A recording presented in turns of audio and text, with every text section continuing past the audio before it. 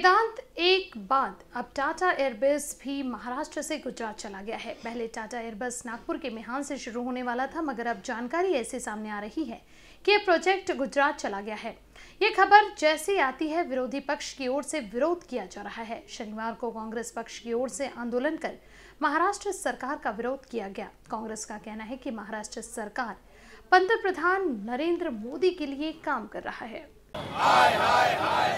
भारत सरकार हाय हाय हाय हाय गुजरात की दलाली बंद करो बंद करो बंद करो गुजरात की दलाली बंद करो। बंद करो बंद। दलाल है। ओके की सरकार है। मोदी की दलाल है। ओके की सरकार है। बंद करो बंद करो। वरना कुर्सी खाली करो। खाली करो खाली करो। मैं तनवीर अहमद माजी नगर सेवक नागपुर में दो मिल हुआ करती थी एम्प्रेस मिल और मॉडल मिल। नागपुर वो लोगों की शुरुआत जो सुबह की जो लोग जागते थे साढ़े पाँच बजे जब मिल का पोगा बसता था उस टाइम लोगों को की का दिनचर्या शुरू होती थी। दोनों मिलें आज बंद है और जो बुट्टी बोरी में एशिया की सबसे बड़ी एम जो बन, बनाई थी, उसके, उसमें कोई नए नए प्रकल्प नहीं आ रहे हैं। उसके बाद में मिहान में कोई नए प्रकल्प नहीं आ रहे। उल्टा जो नाम महाराष्ट्र के और विदर्भ के जो प्रकल्प है, पहले वेदांता फास्ट वन को इन्होंने गुजरात शिफ्ट कर दिए और अभी हाल ही में टाटा एयरवेज को गुजरात में शिफ्ट कर दिए।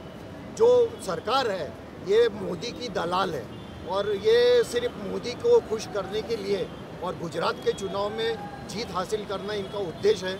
इसलिए महाराष्ट्र के प्रकल्प ये गुजरात लेके जा रहे हैं। इससे जो नागपुर के और विदर्भ के और महाराष्ट्र के जो बच्चे पढ़े लिखे लोग हैं, उनका, उनके उनके रोज़गार छीन, छीनने का काम और ये पाप महाराष्ट्र की सरकार और केंद्र की मोदी सरकार कर रही है।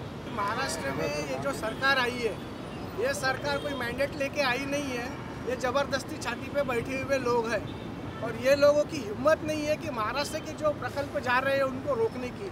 उसका विरोध करने हम आए हैं। पहले जो गया है, पहले बल्क मेडिसिन पार्क गया मेडिकल इक्विपमेंट पार्क गया, वेदांता फॉस्कान गया और अभी टाटा एयरबेस गया। टाटा एयरबस ये प्रोग्राम है और ये सबको तुम अगर मिला के देखते हो तो टोटल दो लाख लोगों का रोज़गार यहाँ से गया है। और ये हम ये नहीं बोले कि गुजरात गया इसलिए हम विरोध नहीं कर रहे। ये महाराष्ट्र का अलर्ट हो चुका था।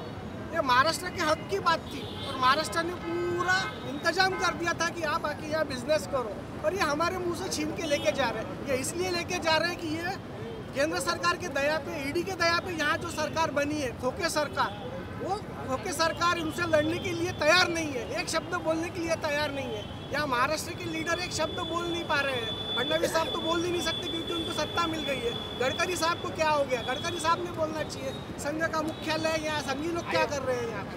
हमारा इसलिए विरोध है।